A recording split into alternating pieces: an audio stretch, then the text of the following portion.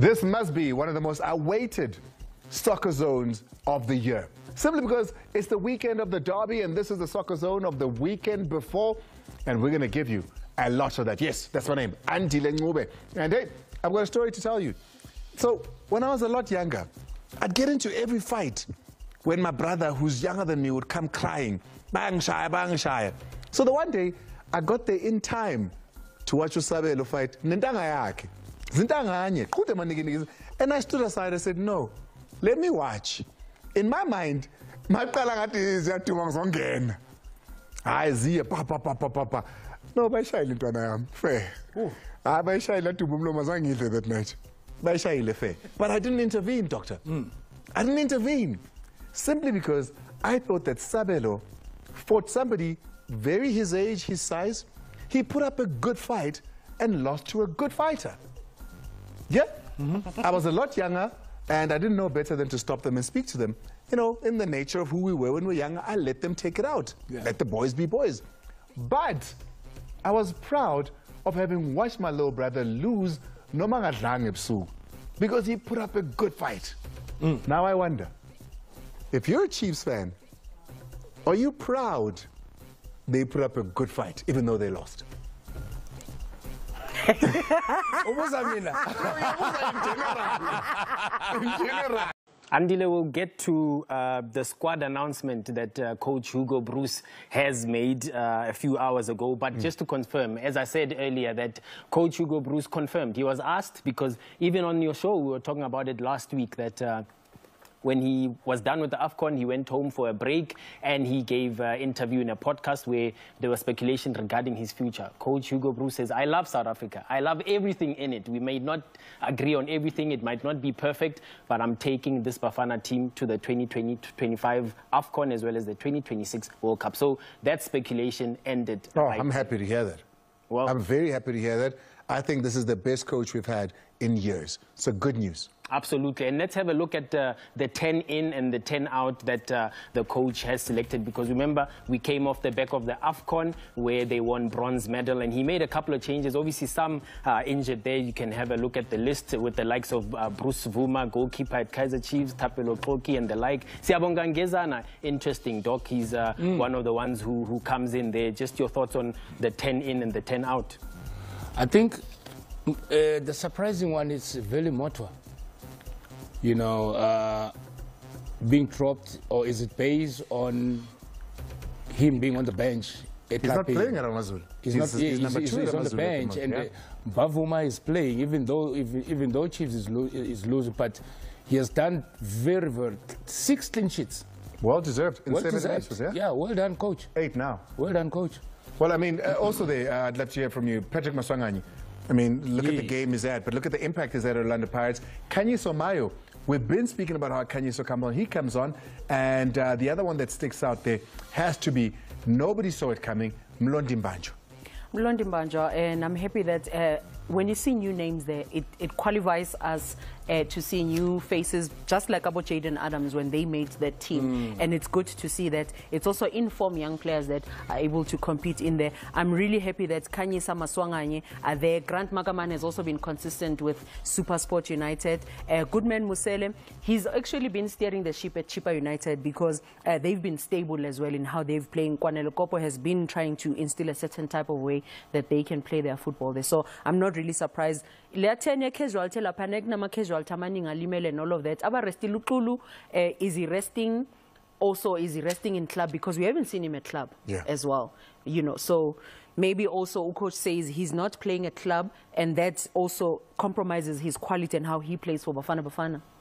Well, moving on, Andile, we were talking about the Kaizer Chiefs goalkeeper who's now in, back in the national team. But there's another goalkeeper who was sitting on the bench who's made headlines, was trending on uh, social media over the weekend for a confrontation with uh, coach Cavin uh, Johnson. That's Brandon Peterson. Uh, but we asked the coach after the game, as uh, the media and the press conference, about what exactly was going on between him and uh, Brandon Peterson at the end of the Soweto derby there. Here's an up sound of uh, the coach explaining that altercation or communication. Oh, it was just a, normal chat to the coach. Coach, we lost the game. Why do we have to fight? Did you see Kevin De Bruyne tell Pep Guardiola to shut up? it's normal. I want my players to react when we lose. I want them to react. And if they react to me, then I take all that on my shoulder. Because tomorrow I will fix up whatever the reaction is. And that is football. I don't want them to be mouses. They have to be people who come and question me. I have to question them because in front of 100,000 people, no one can hear each other. It's only those 11 players on the pitch that have to work. Well, I don't want my players to be mouses. I'd like to get the thoughts of uh, Kaizer Chiefs legend himself. You've been a player and a coach at Kaizer Chiefs. What did you think of that moment when you saw it? It's in the passion, mind you. Let's, let's put it into context. They've just lost. He was on the sidelines at some point, coaching a little bit as well, was Brandon Peterson. What did you make of that moment? Andile, to be honest and precise, I've seen such uh, happening. Uh, the latest in Soleng, I was probably 13 years old. Uh, he threw a jersey ebusweni baka Eddie Lewis. And myself in the dressing room with Jeff Butler, in the dressing room, by the way. So Emphasis. you understand, inside the dressing room, I didn't want to do it in front of the supporters because the interpretation i- i- inikeza i- i- i-brand a bad image. So that's normal. It happens in It's- football. It's, just way it happened it- is different. It, way it happened is different. And also, the way it happened, it's unlike the norm at Kaizer Chiefs. Because if the coach feels good, players can question, but mm. can we do that in isolation in order for us to interact? But that was not interacting. The gesture, it's anger. Mm. Because there was throwing of hands, people are watching. And now the team is not doing well. There's speculations that were there prior this about division within the team. Now this now it starts to escalate a lot of perception. But who, I, I, I, I'm not saying it's exactly what is happening. But from where I'm seated, ngoba mina no coach asibonanga this. It's only when it was on social media. Yeah. Then that's why I was like, what is going on here? Then people explained to me. I think uh, I must be in agreement with Doctor. It just looks bad because of where it happened and when you see it on camera in slow motion. Yeah. But it's, it's player emotions after having lost a game. And like Cavin says, I want a player that loses and feels like that rather than one that's smiling and high fiving. Anyway, Masol, take it away. Let's move on, Andile. The last three stories we've got, uh, just a reminder to our viewers, they might have missed this one. Steve Komphela was actually on the dugout when Golden Arrows beat Polokwane City just yesterday. He has been appointed uh, the coach uh, out at Golden Arrows, and with Mabhuti Khenyeza and Musa Bilankulu staying in tandem as his assistant coaches. And uh, the next one, uh, it happened while we were at Skizo's memorial here at the SABC, and himself, uh, SAFA President Danny Jordaan, was in the building. Marako Nazareki, they were busy, the Hawks, investigating and chasing a lead of five years, uh, claiming uh, fraudulent activities over 1.3 million. SAFA later releasing a statement saying it was malicious and they did not have uh, a search warrant for what transpired out at Nasrec on Friday afternoon. And then we wrap it up uh, by going to uh, Cairo uh, tomorrow for the draw of the CAF Champions League. We now know that Mamelodi Sundowns are the only South African team uh, that is uh, remaining. We see who they will face uh, from the seven teams that remain. Remember, they will not play TP Mazembe because the two teams that were in the same group cannot face each other in the quarterfinals of the Champions League. akuvumanga usuthwini ukuthi bathole amaphuzu amathathu imorocco swallows ithe cha le yona kuyoba yi-draw the hosts took the lead in this encounter in the 73rd minute as Rian Hanumov twisted and turned inside the box and scored in the far corner. But Musa Nyatama's beautiful birds had the last laugh as former Orlando Pirates midfielder Augustine Mahlonoko brought a super sub moment, scoring with a superb effort deep in injury time. Stellenbosch FC emerged victorious in their first of two Western Cape derbies kuviki elodwa ngenkathi inqoba ngegoli elodwa eqandeni idlala neCape Town City. IStellies ize negoli elihle kulo mdlalo wobukhaya Antonio van Wyk ehlanganisa ama-passes anzima walibekela kahle kuDevon Titus laduma phakathi yadlalwa i-transitional football. Kaizer Chiefs have finally registered their first goal and win in 2024 ngenkathi inqoba ngegoli elodwa eqandeni idlala ne-golden arrows. Igoli kulo mdlalo lize nomfana omncane obuya kwi-josi stars nakwi-reserve yamakhosi uwandile duba. Washaya izulu emnandi kadr mnandi. Ladla. That's now 11 losses in a row for arrows. In a game characterized by questionable officiating Cape Town Spurs got themselves a valuable point as they played out to a hard-fought one-all draw against Orlando Pirates. Amabhakania avule ngelihle igoli likarelebogile mufukeng edlule emadodeni walibeka emnatheni wadlala utalente mbatha but later in the second half Gabriel Michael ensured that the Urban Warriors do not go back to the cup start empty-handed as he equalized with a stunning strike. That's a four points off the Buccaneers for Spurs this season.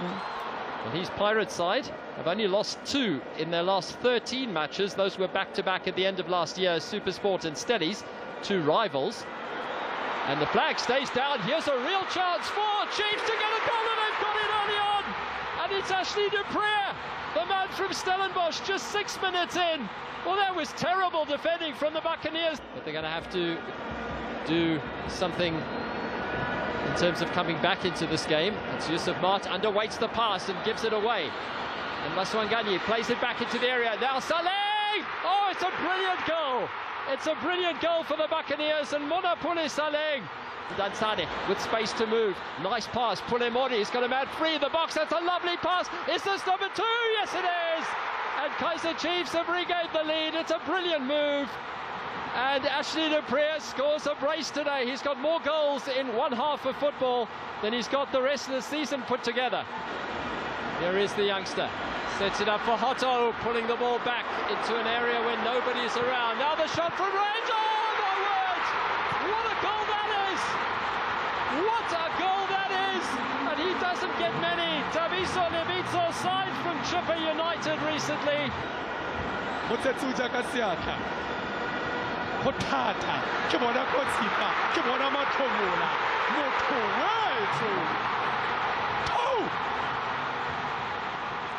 The bottom of the log, Cape Town Spurs continued with a good run of form and picked up a valuable point as they played to a 1-0 draw against Stellenbosch FC. Igoli lama-Urban Warriors lize nomdlali omuhle u-Anele Velebayi. But Stellies got the equalizer just eight minutes after the hour mark. Iqraam Rayners scoring his seventh goal of the season from the penalty spot following a handball from Denron Farmer. 1-0 it finished. DSTV Premiership Kings and log leaders Mamelodi Sundowns stretched their lead at the top of the table to 12 points. Ngenkathi inqoba ngamagoli amabili eqandeni idlala leChippa United. Kuthathe nje imzuzu engaphansi kweyishumi ukuthi ama-brazilians azibeke phambili kulo mdlalo. Umdlali webafana bafana wodume ekhulula into enzima engaphandle kwebhokisi ladla the second goal, five minutes from full time, was your typical Sundowns goal in their new mission of completing a thousand passes. Newly signed attacker Tashriq Matthews netted his first goal for the Brazilians, Mokwena in with the assist. Cape Town City's hopes of a CAF Champions League spot received another blow yesterday as they lost a second game this past week, going down 2-0 against Royal AM. abafana bakamamkhize bavule ngelivuthayo igoli kabelo mahlasela edlale icross emnandi phakathi ebhokisini sedwin george walivalela phakathi ngekhanda the second goal was definitely a contender for the goal of the month. Sabelo Tole with a solo effort as Shiama Dodelele phansi before firing past Darren Keet 2-0. That's back-to-back -back losses now for the citizens. Steve Komphela's second coming at Golden Arrows was confirmed by Nduduzo Spears' 85th minute strike, ending a poor run of 11 losses in a row for Abafana West End. Ma exciting derby, five goals. but there's something missing. We'll start with the first one. The first one was the breaking of the law. Uh, breaking of the leg or breaking of the law. Uh, here is Yusuf Ma doing what we call serious foul play, a player who endangers the safety of an opponent by using excessive force or brutality. Matlangile ati hanya busofu yo kalantela busuwana should be sent. Hayi cishe wamlimaza. He got Oh. a yellow card from Jelly Chavani. I don't know. But Yellow when- card? When Oh. Jelly sees this, he must know that this is red. Oh, Straight if red. akhona ithu ama-red fanele abe he nearly ended uh, i-ready i-ready and then i-ready slow motion yeah next one What is your thing? well here's the next one we're staying with this game Next one, we're, staying, we're still staying in the derby. There's a penalty appeal, but let's see if um, Simango there played the ball or the man. There's what we call jumps at an opponent. Mm. Uh, let's see if he jumps for the ball or for an opponent. Look, he jumps for an opponent. So when a player jumps at an opponent, it's a penalty offense. So penalty should have been awarded for jumping at an opponent Hmm. because there was no intention to play the ball. So he played the man, and here we play the ball. It's not rugby. Rugby you can do that, but football we play the ball. so Pirates should have been awarded a penalty there That's a clear penalty. so Chiefs should have had a red card Yes. and that should have been a penalty A penalty, here's another one a penalty appeal Yeah, the next one as well, uh, we'll see the same Mabasa. Hey, inkinga, man. Right, Mabasa put the ball on space. So now when he put the ball on space, the referee clocks proximity. Now comes Castillo. Uh, when Castillo made that challenge, did he prevent, when he makes that challenge, did he prevent the player from going to an advantageous position? The answer is yes. So another penalty should have been awarded for preventing uh, uh, uh, an opponent from getting into an advantageous position. ah bo referee bayibulala game no no no that was horrible to do refereeing then surely for the first time you've got to agree that that was that's three big decisions two penalties and a red card lo sikhuluma ngaye so you know Jeli angathi iyasheka. angajeli kahle before atala ka game yeah iyasheka sheka nyana Doc, ujeli those are big decisions very very big decision khana ngizibonayo nami and uh, really uh, angazi ukuthi usafuna leya replay dog Ah, No, I I see again. suffer no, no, no, no, no. Let's go on to the next one rather. We're staying with the same game. Yeah. Um, Kaizer Chiefs versus the Pirates. This is the most spoken about moment. This goal. yeah uh, uh, pirates scored with 12 uh, players on the field of play yes on the field of play Before the ball crosses the before line. the ball crosses the line. What does the law say? This law was amended uh, beginning of this season when Yusuf Maart scored a goal. Remember, Yusuf Maart scored a goal from a long distance. Uh, uh, Reeve Frosler was already on the field celebrating. FIFA came with this law that if a goal is scored with an extra person on the field of play, now clarification means that the, the, the, the person must interfere with play. If that player does not interfere with play or have an impact on play, a goal should be awarded. So that's why the goal was awarded because Yusuf Maart made a change in the law. That clip was seen by FIFA. They said, hey, yeah, yeah, yeah, yeah. Before it creates problem, let's put it as a law. And it came back to bite them. It came back now from Yusuf Maart now to Saleng. So that's a clear goal. Nothing wrong there. People who are uh, saying, hey, 12, 12, 12, they must just zip. the law is here to protect the goal. Good goal, Silo Sakuta All right, well, let's put another one here. Uh, let's go straight to it. This now is in the 89th minute. Here, the, Jelly Chavani is chasing the doctor. Uh, the doctor is a highly respected person in society. But look at how we treat the doctor. You- You just give him a yellow card. Uh, and, and the doctor was misbehaving here because he enters the field of play without the permission from the referee. So now, this was for the second time uh, of which a red card should have been issued. But then there's a law that says if a doctor is given a red card, not our own doctor, if a doctor is given Yeah, a red card, then, and there's no other person to treat the players, then this person, must, the doctor must stay and treat players, then he will stay the next two games. So here, uh, the doctor was misbehaving. But you can't give the doctor a red card, right? He can't be given a red And card. get him off the I field. gave the doctor a red card. And then get him off the field. Yes. And what happens when there's an injury?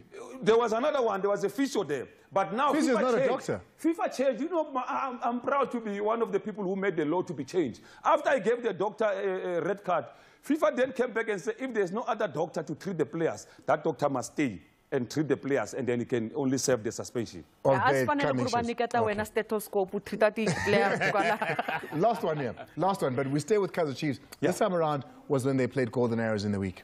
Yeah, there is this offside here situation that we want to talk about. Yes, given they're giving offside, but let's look at the law. The law says uh, if you are in front, nearer to your uh, opponent's goal line, then you are offside. And if you are behind or in line with the ball, you cannot be offside. Let's look at it here, uh, Doc, and see is that player behind the ball or in line? This player is clearly is behind the ball. So this goal should have been allowed. But the assistant referee, fortunately or unfortunately, raised the flag Chizibwe in for Nhlanhla this week. So this goal here arose. Mabhuti Khenyeza maybe it will have saved him the job. We don't know. No, but, he's still uh, there. He's still there. He's still sti- there. he's still so, but that was supposed to be ruled as So, offside, as, as, as, as a beautiful goal. yeah, he achieves the 23 points as, as, as moving. And then We go to the break. umuntu umuntu makathi kuyakhuluma khuluma and then hayi yeke Okusalayo. okusalayo